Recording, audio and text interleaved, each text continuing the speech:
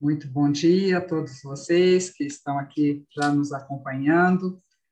Hoje, dia 21 de julho de 2022.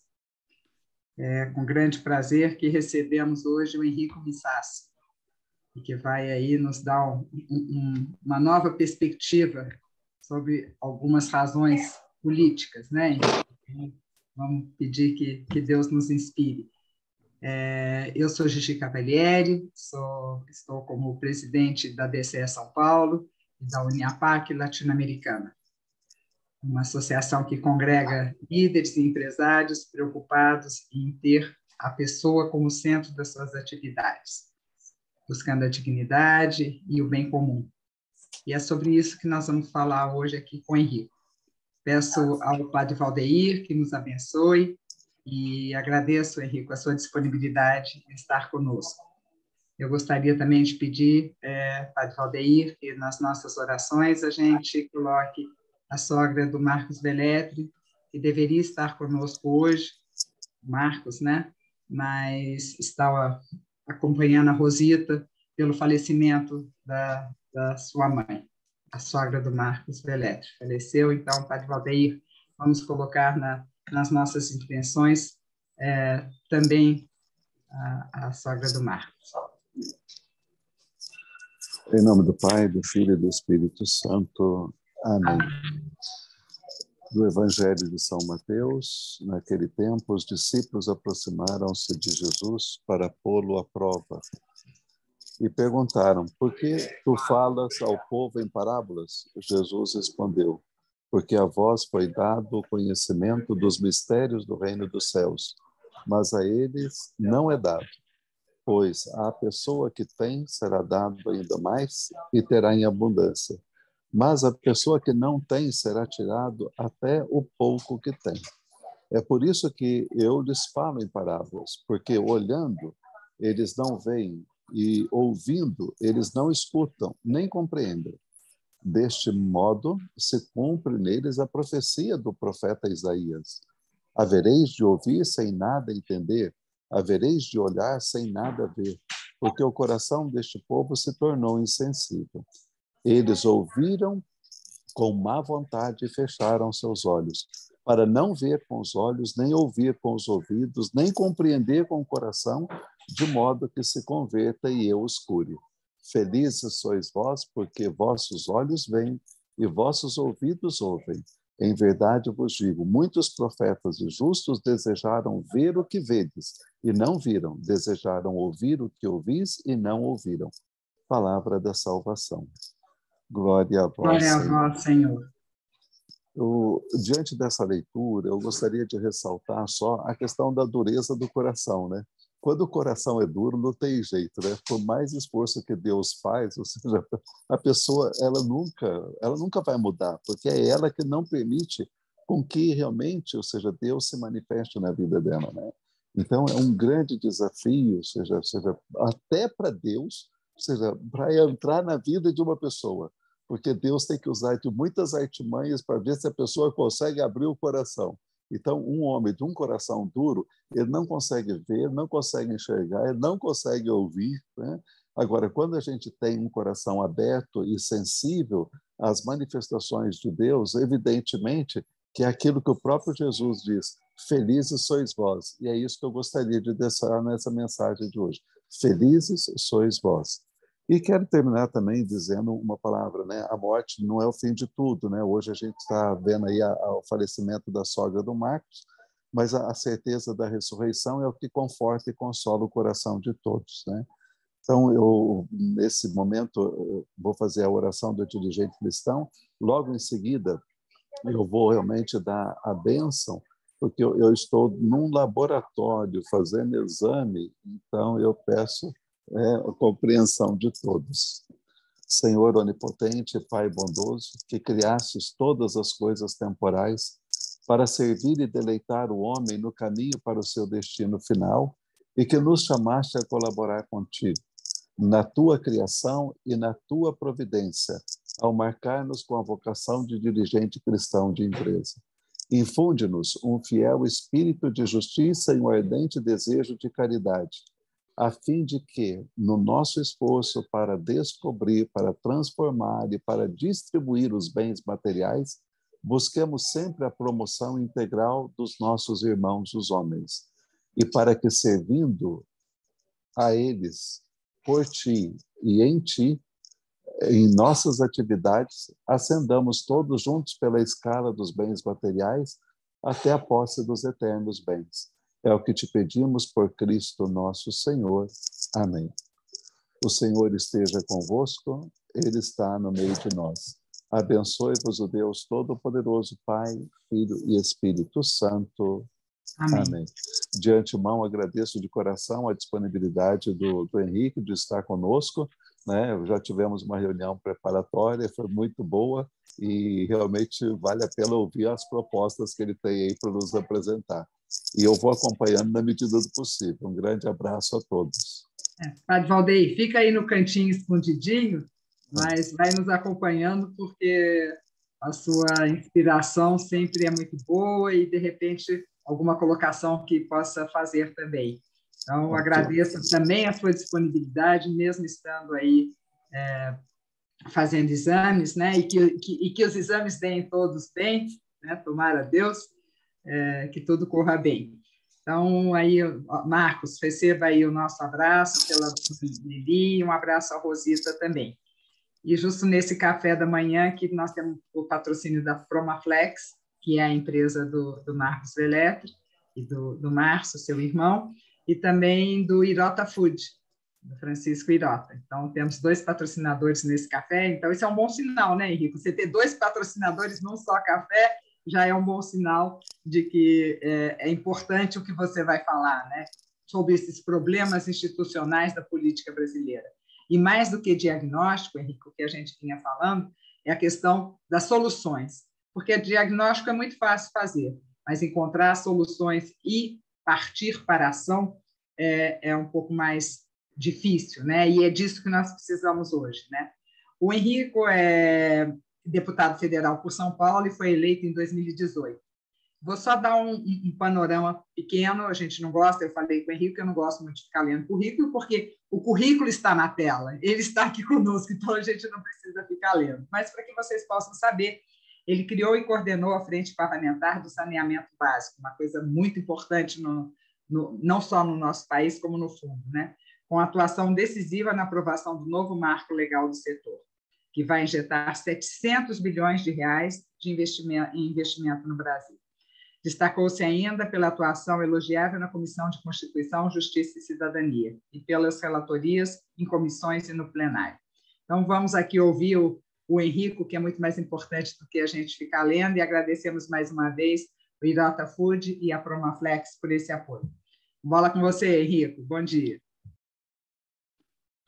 Bom dia, é, Gigi, muito obrigado por, pelo convite, pela, pela recepção aqui nesse café da manhã. Bom dia, Padre Valdeir. É, obrigado pela sua presença e, e, e, bom dia também a todos que, que nos escutam aqui, que estão participando virtualmente. Vem fazer uma, uma menção aos dois amigos, né, o Marcos Veletri e ao, e ao Irota, que, é, que também intermediaram esse convite, né, Gigi, principalmente o Marcos, agradecê-los pela, pela por essa por essa intermediação, por esse convite e também nos solidarizar com, com essa perda do Marcos agora. É, a ideia aqui, é, Gigi, eu, eu, gostaria de, de propor uma, algumas reflexões. É, não quero só muito pretensioso falar que são mais técnicas do que políticas, mas eu gostaria de fazer uma análise um pouquinho mais fria é, daquilo que está acontecendo no nosso país, porque é, todo mundo percebe, ah, enfim, que, que já há, algum, há um bom tempo, né? Claro que a crise agora se tornou mais aguda, digo a crise política, né? Mas já desde 2013 nós, nós vivemos uma crise né, generalizada das instituições representativas, das instituições políticas, né? Muitas pessoas é, refletiram e refletem sobre essa trajetória recente da, da história política brasileira.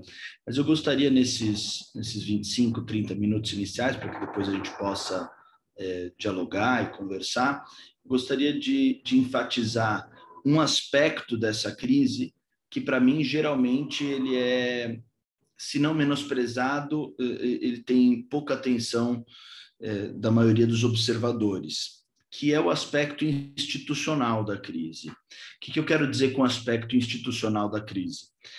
É que nós no Brasil nos, costuma, nos acostumamos a analisar a política muito é, pelos homens e mulheres que ocupam os cargos.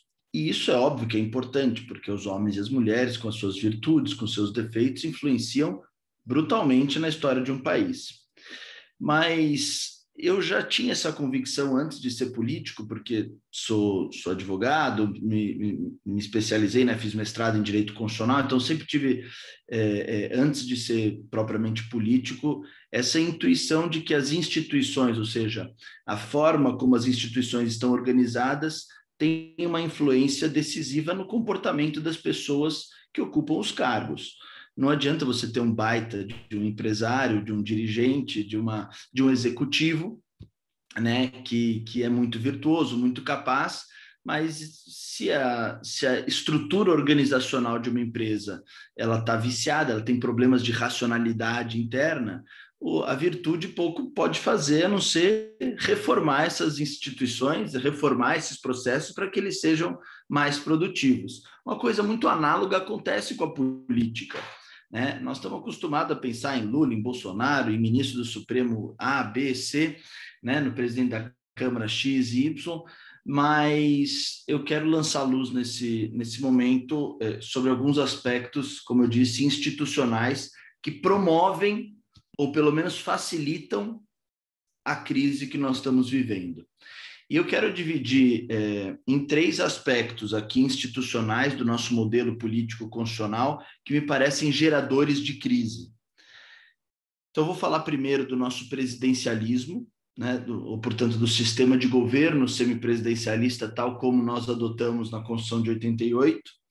Num segundo momento, eu quero falar sobre o sistema eleitoral, tá? proporcional, né? a forma como nós organizamos as eleições, não a questão é, é, de urna eletrônica, essas coisas. Quero pensar um modelo institucional proporcional com a circunscrição eleitoral do tamanho do Estado, quero fazer uma reflexão sobre o nosso sistema eleitoral.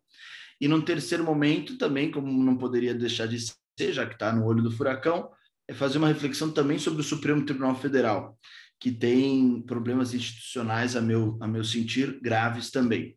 Então, essa é um, é um pouco o plano do que eu quero falar, né? É, analisar do ponto de vista institucional. Evidentemente que com é, sem aprofundar, porque cada um desses temas é um curso, né? Mas eu quero pincelar algumas impressões que eu tenho sobre o sistema de governo semipresidencialista no Brasil. Perdão, semipresidencialista não, já estou dando a solução. Presidencialista, sistema eleitoral proporcional e o Supremo Tribunal Federal.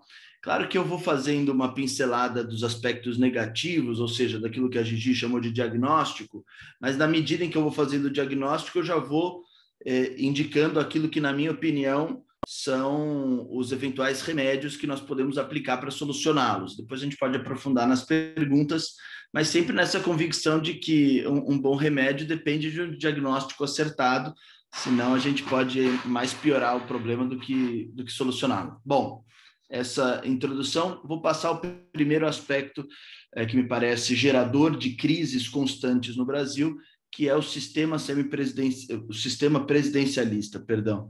Eu fiz parte, só aqui um parênteses, da comissão do grupo de trabalho do semipresidencialismo, né, que a gente vai aprovar o relatório agora no, no início do, de agosto, então estou há dois, três meses que eu só falo de semipresidencialismo, então vocês me perdoem se eu, se eu me confundir aqui, do sistema de governo presidencialista. Bom, a primeira coisa que nós precisamos é, levar a sério quando a gente fala é, nos vícios do nosso presidencialismo é algo que, que talvez não fique tão aparente nas notícias de jornal mas quem ocupa o cargo, quem vê de perto um ocupante do cargo, percebe com muita clareza.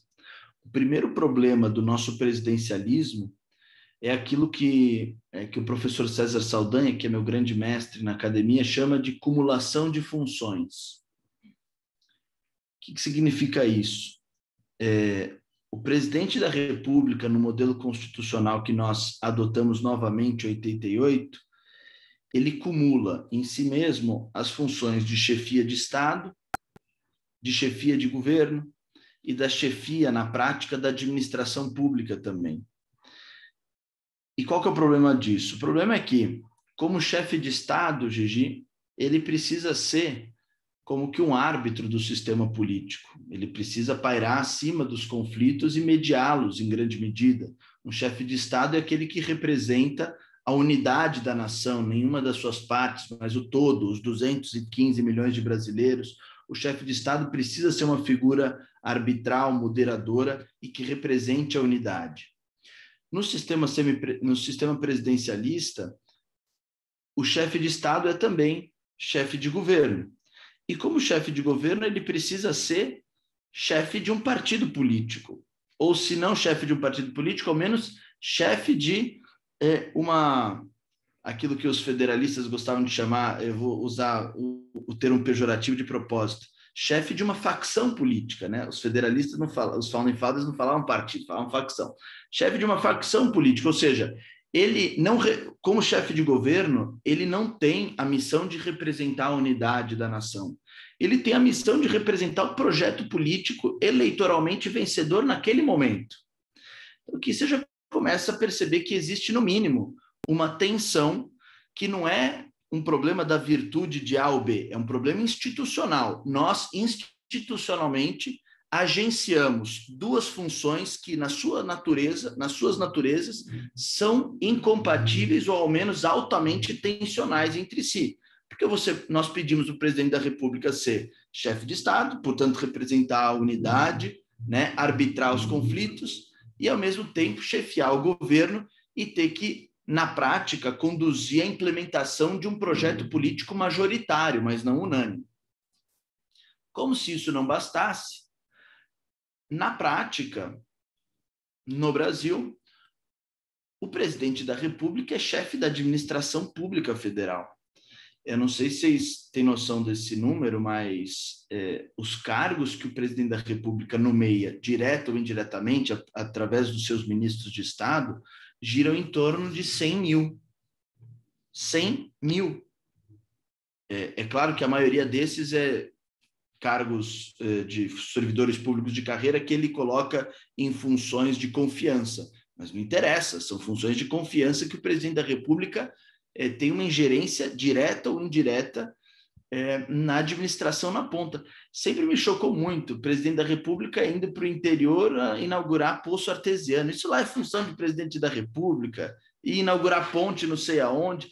Então, o, o, no Brasil, a, como se não bastasse a acumulação típica dos sistemas presidencialistas entre chefe de Estado e chefe de governo, aqui nós temos uma tradição é, de, de chefia da própria administração pública que faz com que é, o cargo de presidente da República ele tenha uma acumulação de funções absolutamente irracional, na minha opinião. Irracional por quê? Porque se ele for um, um bom chefe de Estado, padre, ele vai ser um mau chefe de governo. Se ele for um bom chefe de governo, ele vai ser um mau chefe de Estado.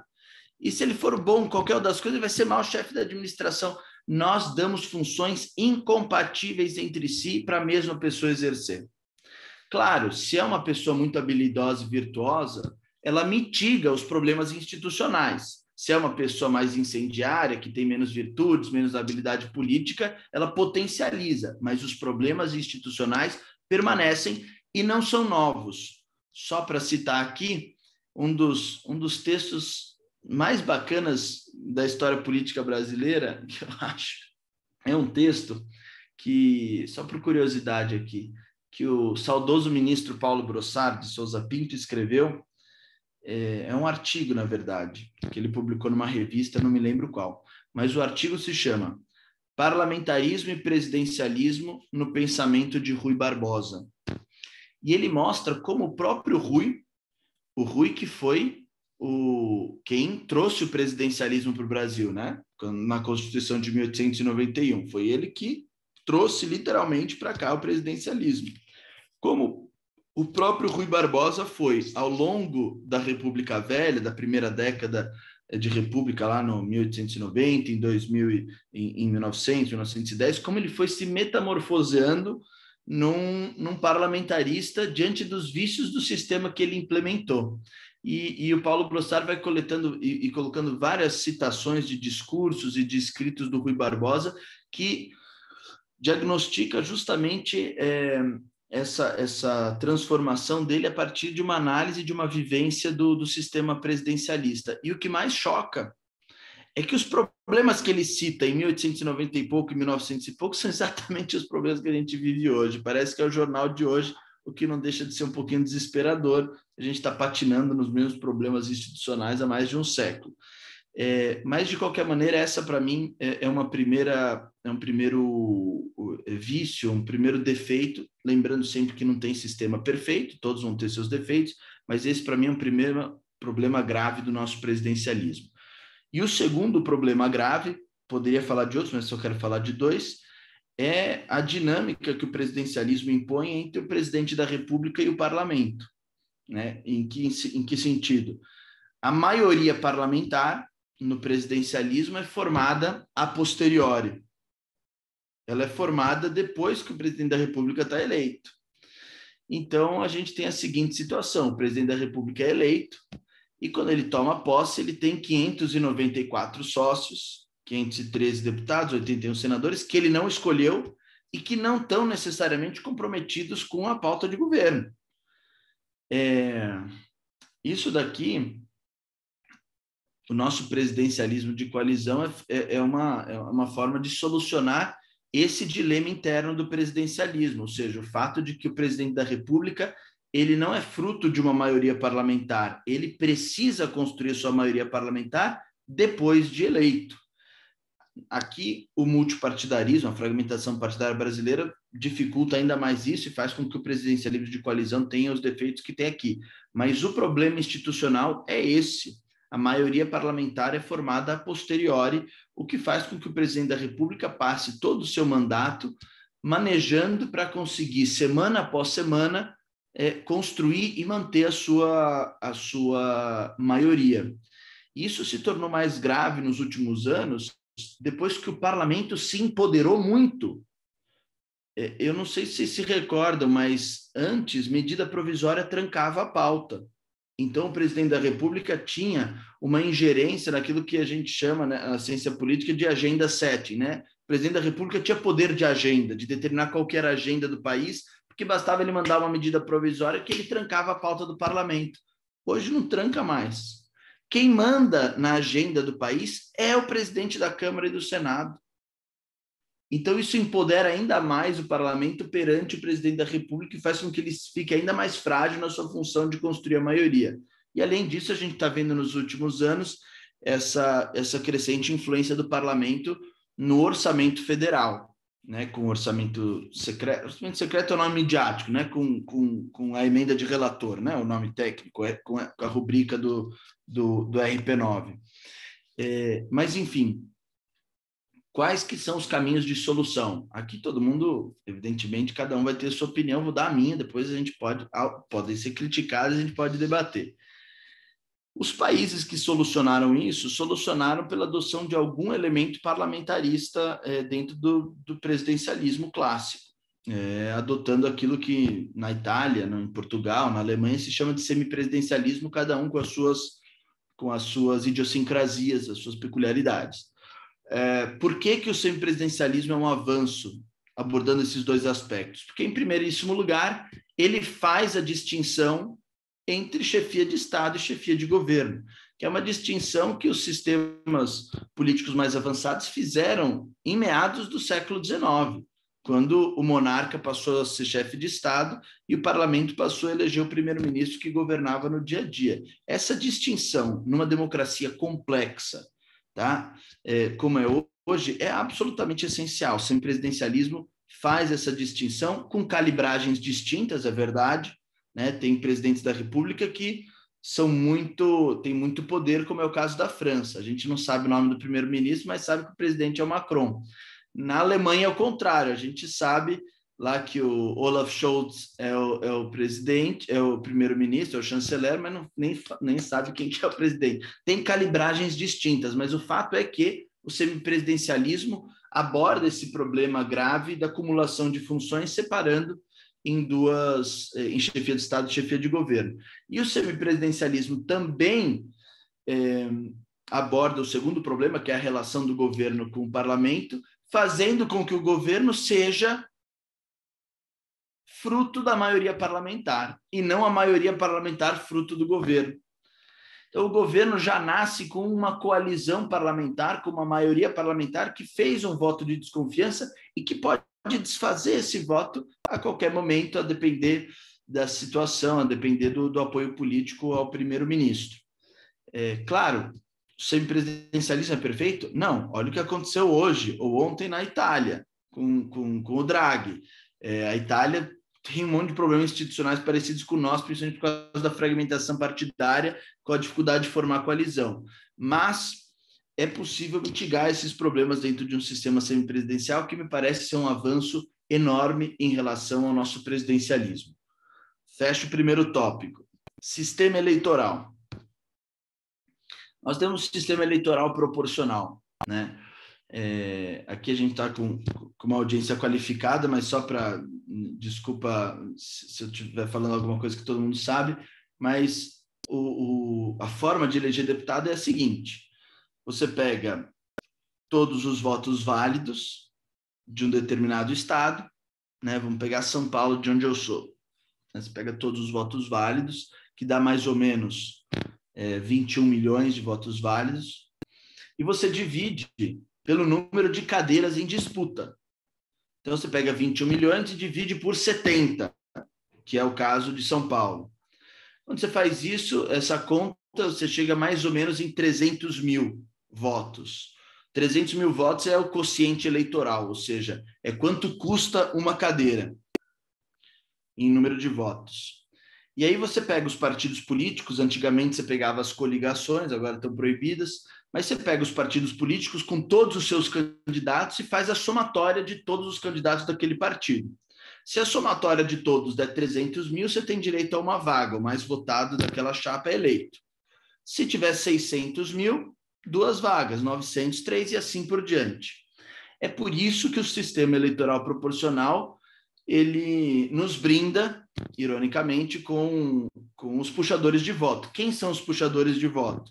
São aqueles que têm mais votos do que o quociente eleitoral e, portanto, fazem a sua própria cadeira e contribuem para uma cadeira é, a mais, ou um pedaço de uma cadeira a mais. Mas notem bem, os puxadores de voto são muito poucos. Porque se pegar nas últimas quatro, cinco eleições em São Paulo, que é onde eu acompanho mais, quantas pessoas tiveram mais de 300 mil votos, é sempre quatro, cinco, na eleição passada, quem foi? Foi o Eduardo Bolsonaro, foi o, a Joyce Hasselman, foi o, o Kim Kataguiri, foi a, é, o Celso Russomano, são quatro ou cinco, não tem um monte de gente puxando voto, né? Então, é claro que o puxador de voto tem um problema dentro da democracia e é um problema institucional do sistema proporcional, mas não me parece ser nem de longe e aqui eu sei que eu sou está sendo um pouco polêmico, não me parece ser nem de longe o principal problema do sistema proporcional. Na minha avaliação, o principal problema do sistema proporcional é que ele inviabiliza a unidade interna dos partidos políticos. Por quê? Por um motivo muito simples, padre, que quem é candidato sente na pele. O meu pior adversário na campanha política não é meu adversário ideológico filiado a outro partido. O meu pior adversário é o meu colega de chapa.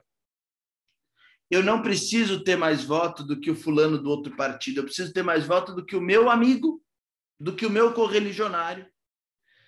E isso faz com que as chapas de candidatos, todo mundo se trate bem, porque aliás tem que ser político, né? Bate nas costas, etc e tal mas todo mundo está com a faca nas costas um do outro, por quê? Ou pelo menos escondendo o jogo um do outro, por quê?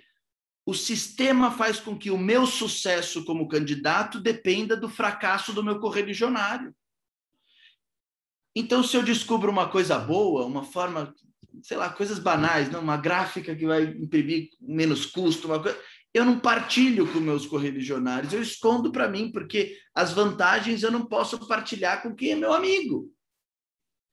No momento da gênese da representação política, nós jogamos candidatos dos mesmo, do mesmo partido uns contra os outros.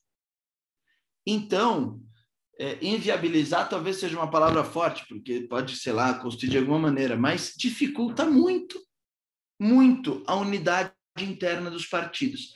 Ah, então, por que, que os partidos políticos não têm plano de longo prazo? É por causa disso. Porque ninguém confia em ninguém. O sistema faz com que um seja jogado contra o outro. Então, se eu sou adversário da Gigi, do Padre Valdeiro, que estamos todos filiados no mesmo partido, nós não vamos fazer plano para daqui a 10 anos. Porque pode ser que na próxima eleição só tenha uma cadeira e um de nós três vai continuar. O que eu preciso é que eu cresça e, de preferência, eles diminuam. Esse é o maior problema do sistema eleitoral proporcional. Ele tem suas virtudes? Tem. Ele faz com que as minorias espalhadas uh, no Estado possam ter mais representação política. Mas ele tem um problema gravíssimo ao destruir a unidade interna dos partidos políticos. A forma de solucionar isso é, bom, é a adoção de um, de um, de um sistema cujo critério seja majoritário. Mas aí é, as pessoas às vezes confundem distrital com majoritário. Distrital toda eleição é. A gente tem um, um modelo distrital hoje, só que o distrito coincide com, com o estado. O estado né, da federação é um distrito. É, a a verdadeira diferença entre o critério proporcional, que é esse que eu expliquei, e o critério majoritário, que significa quem tem mais votos está eleito. Você pegar e fazer o famoso distritão que foi discutido é um pouco polêmico e na minha visão não é o ideal, porque o distritão ele mantém esses altos custos da campanha, porque você continua tendo que pedir voto em 645 municípios, no caso de São Paulo. Gente, isso é de uma irracionalidade. Gigi, eu tive voto em 621 municípios. Não está certo. É muita coisa. É, a gente precisa fazer uma discussão séria so, é, acerca da, da, da, diminuição da circunscrição eleitoral, né? Da, da, dos distritos serem menores e aí entrar sim com a aplicação do critério majoritário. Por quê? Né? No, no, no voto distrital majoritário, cada partido começa a lançar só um candidato por distrito ou dois ou três que, que tenham a possibilidade de ser eleito, dependendo do modelo, porque é, não quero aprofundar muito, mas um, um, um, um, voto distrital pode eleger mais de um, de um deputado por distrito também, né? É, mas os partidos começam a formar lideranças e lançar lideranças por distrito, e isso provoca, sim, unidade interna. Você vai me dizer, mas aí você tem o risco também de, de fazer com que as minorias sejam subrepresentadas. É verdade. Eu, o, o sistema distrital misto é uma tentativa de pegar um pouquinho as virtudes dos dois sistemas, né? Isso estou muito aberto para discussão, mas o grande problema para mim que eu sinto no sistema proporcional é esse que eu descrevi e, o, e uma adoção de um critério majoritário nos ajudaria a, a solucioná-lo. E o terceiro ponto que eu queria falar, não sei, é, vou tentar ser breve, é a questão do, do nosso famigerado Supremo Tribunal Federal, é, que está no olho da, da crise já desde algum tempo, é, na minha opinião, com, com muitas razões, tá? É, não que eu concorde muito com a forma como está sendo lidada a questão, mas é, tem razões para certa revolta com relação ao, ao, Supremo Tribunal Federal, mas acho que a gente precisa ser racional no debate e olhar de novo os aspectos institucionais da crise. A primeira coisa que, que eu gostaria de dizer é o seguinte: é, quando a gente fala de Supremo Tribunal Federal, e, e, a relação do Supremo também com o parlamento, né? A primeira coisa que precisa ser resolvida, na minha opinião, é o, é o foro privilegiado. Por que, que eu digo isso? Né? O foro por prerrogativa de função. Porque as pessoas, elas têm a, a tendência a achar que o foro privilegiado é um privilégio para os parlamentares. Não é. Não é. O foro privilegiado é o maior instrumento de submissão do parlamento ao Supremo Tribunal Federal. Por quê? Por um motivo óbvio. O destino penal dos 594 parlamentares está na mão dos 11 ministros. Ou seja, a vida dos parlamentares está na mão dos 11 ministros que também julgam a inconstitucionalidade das leis. Então, nosso sistema faz o seguinte: dá o poder para a mesma instituição de caçar a legislação e de caçar os deputados. É muito poder. E o que isso provoca na prática, Gigi? Isso provoca na prática uma relação de superioridade dos ministros para com relação aos parlamentares. Porque vamos supor que comece a, a tramitar alguma alguma PEC, algum projeto de lei que vá contra o interesse do ministro do Supremo. O que, que ele faz? Dá uma ligadinha para alguns líderes específicos que ele sabe que tem interesses na corte e não precisa falar nada, é só ele pedir, olha, dá uma acelerada nisso ou dá uma freada nisso que o recado vai estar tá entendido. O foro privilegiado coloca os ministros e o Supremo num patamar acima na dinâmica de relação. E, portanto, as pessoas perguntam ah, por que, que não tem é, o parlamento não se levanta contra o Supremo quando é, usurpa o seu poder. É por causa disso. É por causa disso. Eu sei porque também a gente às vezes se beneficia nisso aqui, confessando, né? É, sem citar nomes. Às vezes você tem uma relação boa com o ministro e você pede para ele, pô, ministro, pede, liga para fulano, cicrano e beltrano, pede para dar uma aceleradinha naquilo, no sentido assim, liga para os teus, teus amigos. O ministro do Supremo passou a ser uma pessoa que tem influência no parlamento, porque no frigir dos ovos ele tem na mão os parlamentares. Qualquer mudança significativa no modelo de jurisdição constitucional passa pelo esvaziamento do foro privilegiado, para que o parlamento tenha liberdade de legislar e de tomar as decisões. Esse é só um dos problemas.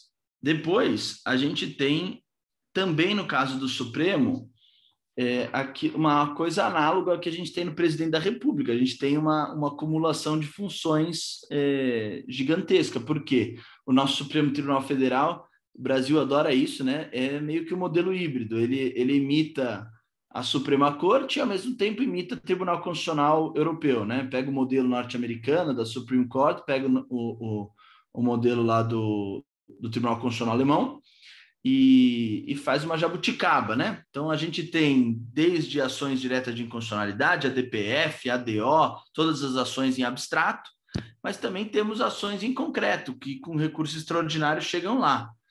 Então, o Supremo Tribunal Federal é irracional a quantidade de coisa que eles decidem. São milhares e milhares e milhares de casos relatados por cada ministro todos os anos. A Suprema Corte Americana decide 90 casos por ano, e olhe lá, né?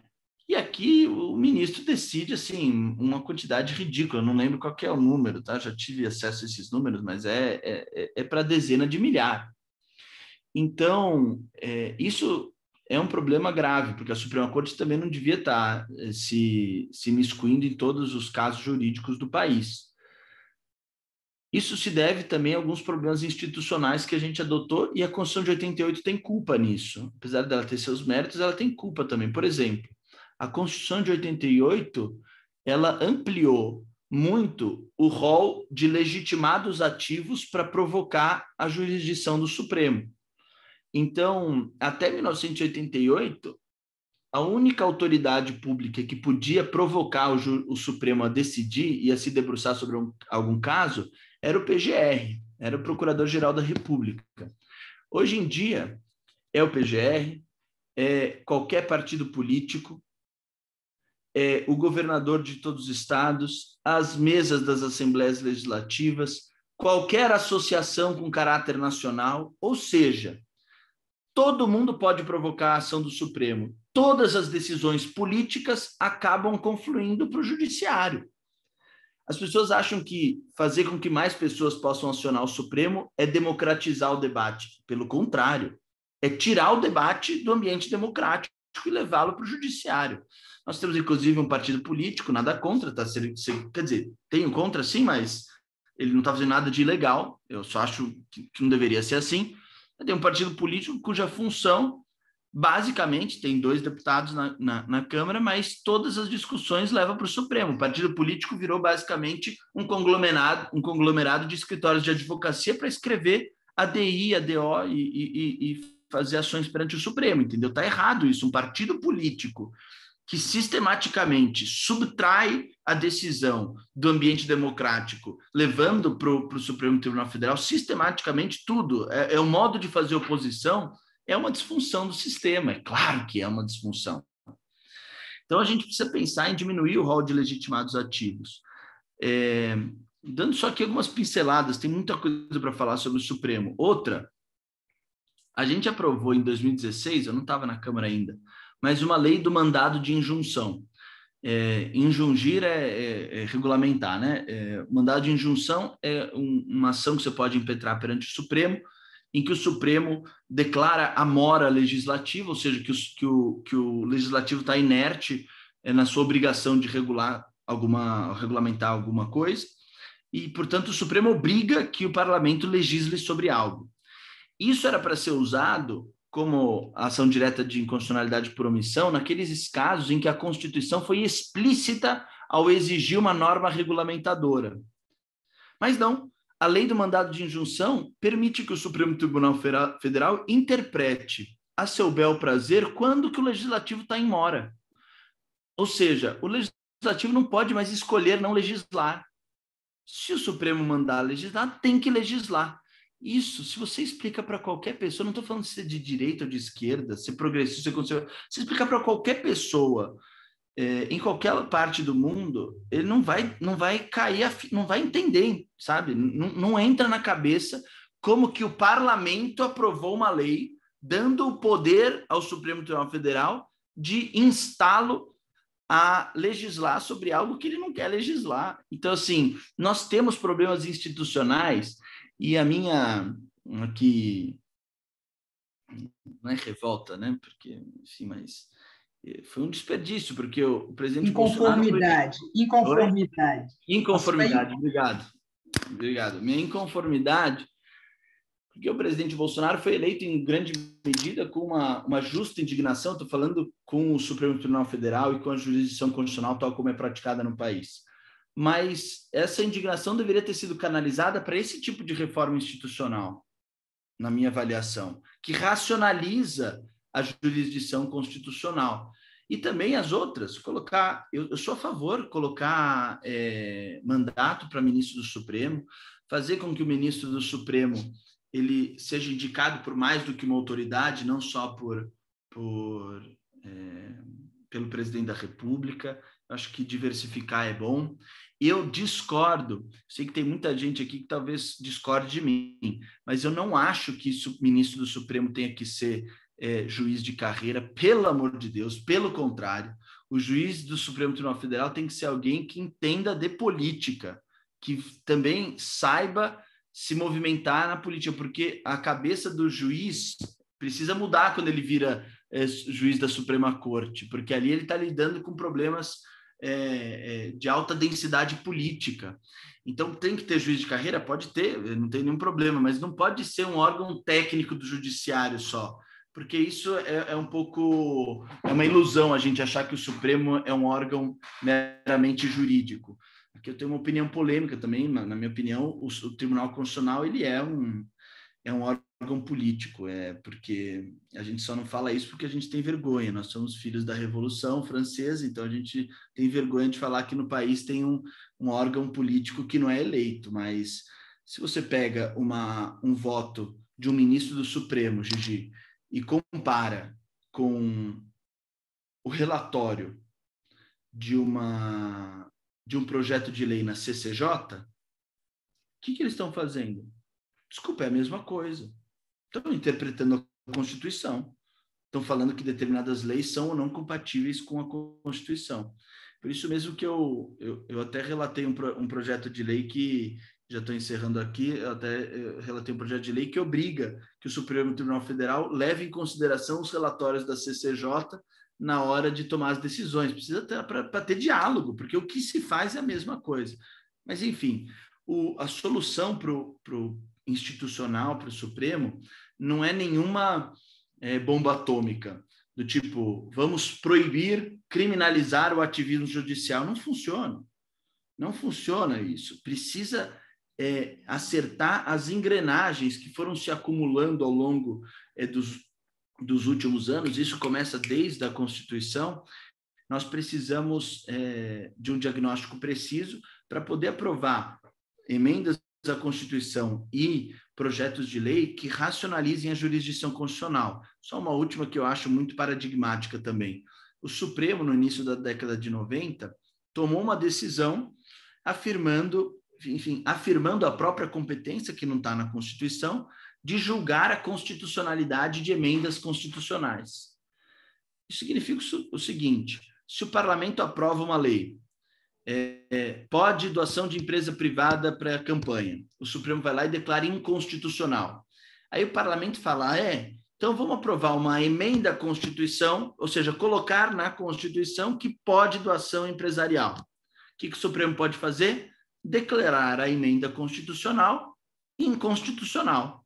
Então, no final das contas, o poder, a última palavra, de fato, do no legislativo está com o Supremo. E isso, Gigi, sem quórum qualificado. Então, para o parlamento aprovar uma emenda constitucional, precisa de três quintos. Para o Supremo Tribunal Federal declarar a inconstitucionalidade de uma emenda constitucional, não precisa de maioria qualificada, pode só maioria simples. Então, tem muita coisa para ser dis discutida e para ser aprofundada. Desculpa se eu exagerei no tempo e dei pouco tempo para as perguntas, mas era um pouco isso que eu gostaria de falar. Muito, muito obrigada, Henrico. Não, exagerou nada, porque o tema, a gente, feito você falou, precisaria de várias, várias aulas, né? um curso, né? e acho que isso a gente precisa mesmo. É, eu, eu, primeira coisa, Henrico, é, parabéns aí pela sua suas propostas, por analisar e tentar melhorar esse nosso país, que é um país maravilhoso, né? E que precisa de pessoas de boa vontade para poder é, ajudar nesse crescimento. Né? Diferente de muitos países, nós não temos é, esse, esse, uh, terremotos, não temos vulcão, né? Temos aí um, um clima maravilhoso, então temos tudo para dar certo, né?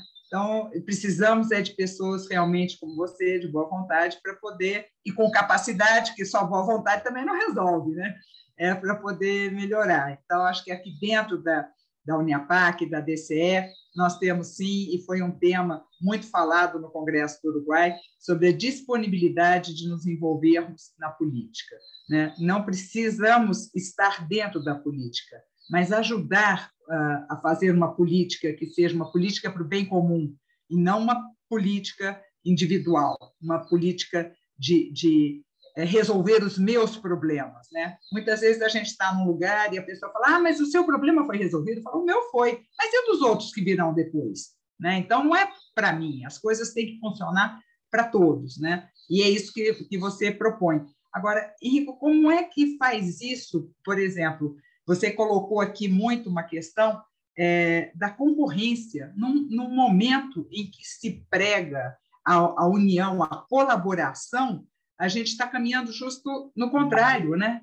Do, eu preciso vencer o cara que é o meu amigo, né? Então é aquela coisa de antigamente quando a gente ia no colégio, né? Tinha muita concorrência, era isso que era que era proposto até nas brincadeiras. Não era uma solidariedade, não era um, um, um, alguma coisa compartilhada, mas uma disputa. E a gente vê muito isso, e uma disputa individual e não uma disputa para conseguir o, a melhoria para o país. Como é que você enxerga essa solução para melhorar é, e ter mais gente junto, trabalhando para o país, com um planejamento a longo prazo e não nas mudanças, entendeu?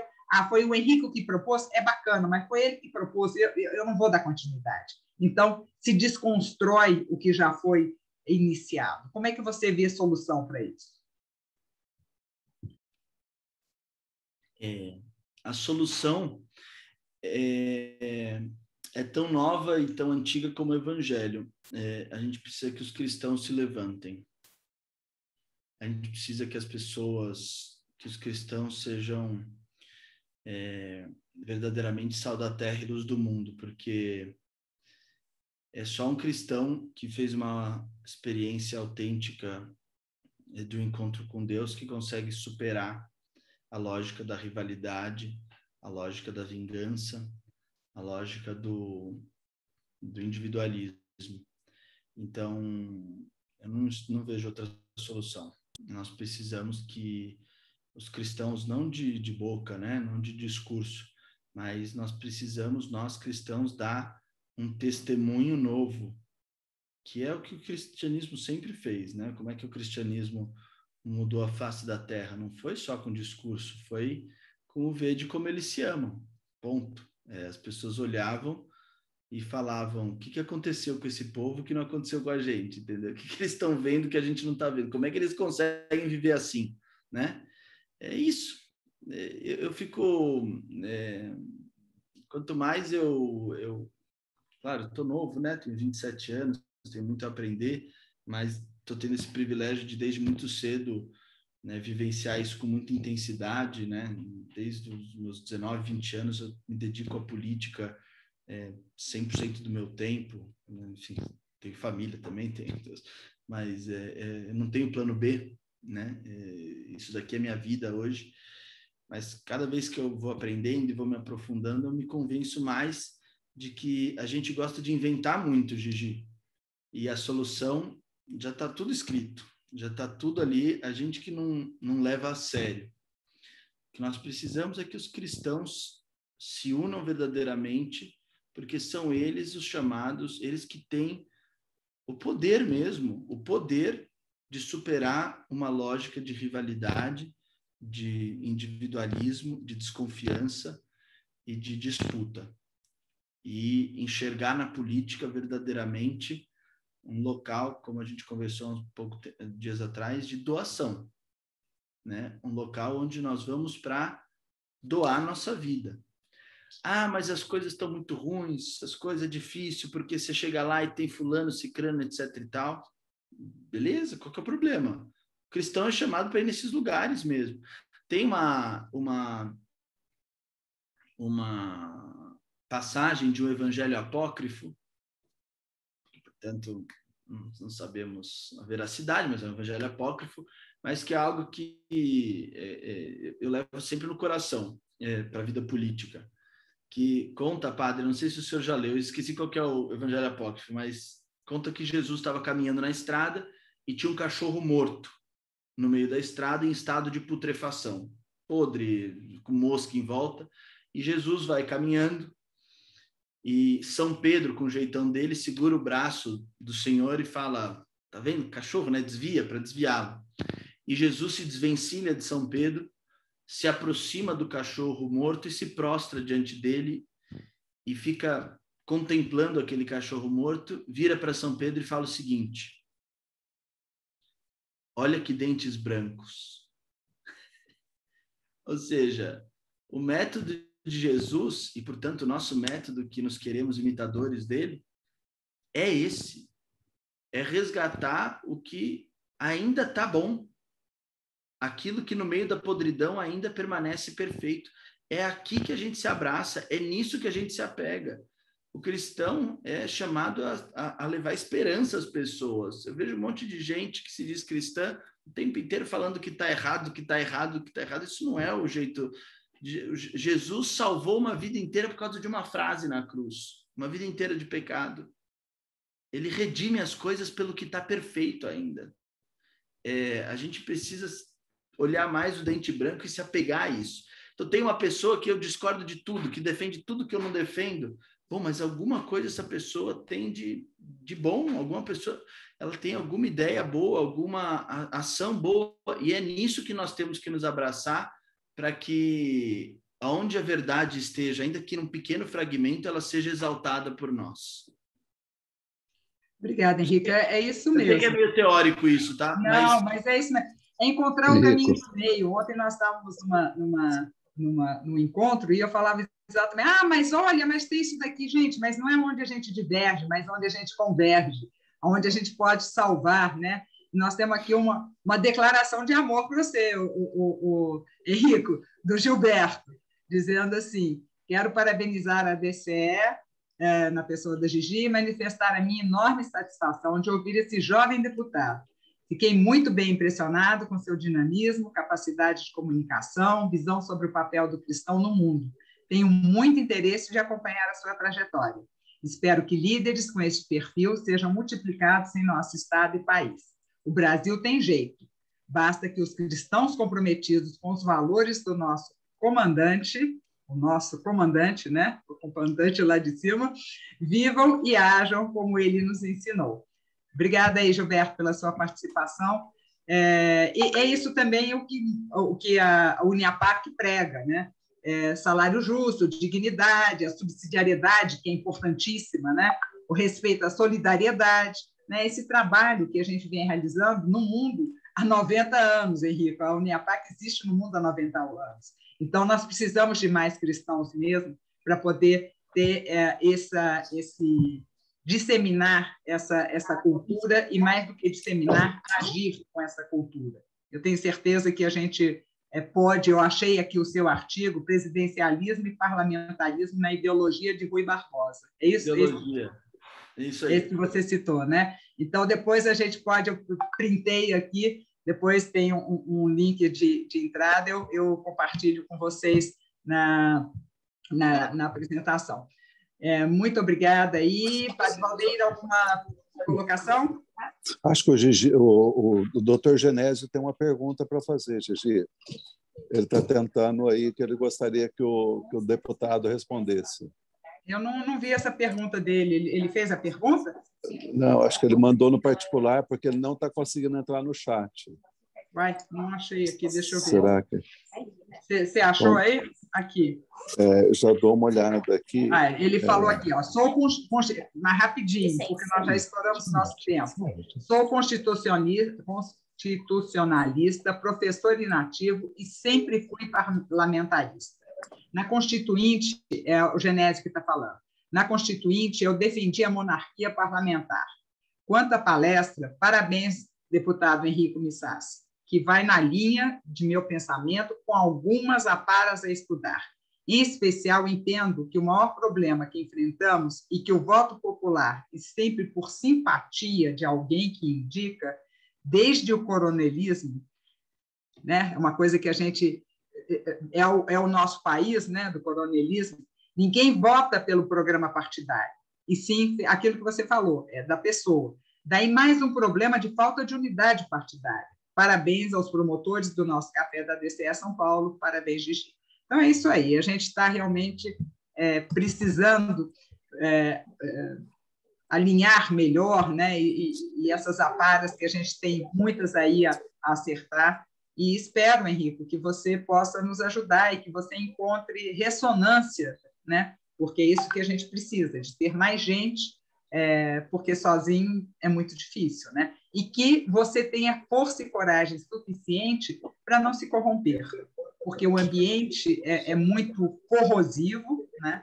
E é muito fácil também a gente justificar uh, a, a, corrupção.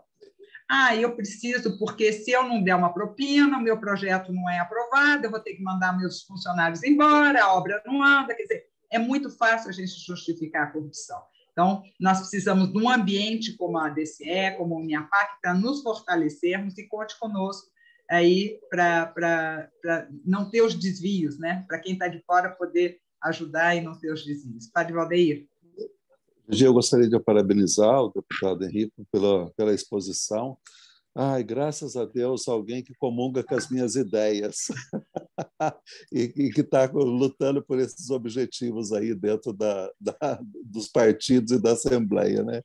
E conte sempre doutor deputado com a, com a colaboração, a ajuda, porque esse é o objetivo nosso, né? De fazer com que realmente a gente possa ter um país governável, né? Porque a gente está vendo que é impossível governar um país desse jeito. Então, por isso que realmente as nossas ideias batem muito. Uma pena que lá em 1992, 93, me lembro direito, aquela consulta sobre o presidencialismo e o parlamentarismo, infelizmente, não se chegou a uma, uma posição, né? Mas se tivéssemos realmente feito uma boa reflexão naquela época, acho que muita coisa no nosso país já teria mudado. Né? Mas eu admiro agora você tão jovem, ou seja, já com esses ideais, né?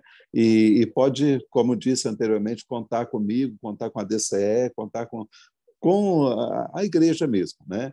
Então, parabéns a você e, e, que Deus te ilumine e os teus passos aí, estamos juntos, tá? Eu já dei a benção no começo, já então né? É, já estão todos abençoados. Obrigado, Gigi, obrigado a todos os participantes da, da vídeo. Agradeço aí a vocês pela, pela participação, todos os que nos assistiram, mais uma vez ao Henrique, o Padre Valdeir, que fez o esforço aí, mesmo estando é, sendo atendido aí nos seus exames, e que dê tudo certo. Uma vez mais, o nosso abraço ao Marcos Veletre, Rosita e família pela uh, a ida ao encontro do pai, né, da, da dona Nelly, e os nossos patrocinadores, Promaflex, uh, Irota, Cesul, uh, quem mais temos aqui? Azamar, uh, CIEE, nós temos vários patrocinadores, apoiadores, mais do que patrocinadores. O próprio Irota, o Crescer, Capitalismo Consciente, e todos eles que estão sempre conosco e que comungam também das nossas ideias. Henrico, se você quiser se despedir, fique à vontade.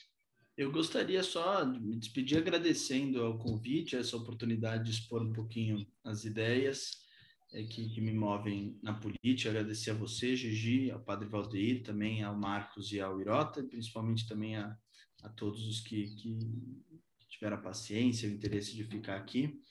E também faço, faço as palavras do, Val, do Padre Valdeir e as minhas também, contem comigo para as reflexões, para caminharmos juntos, né?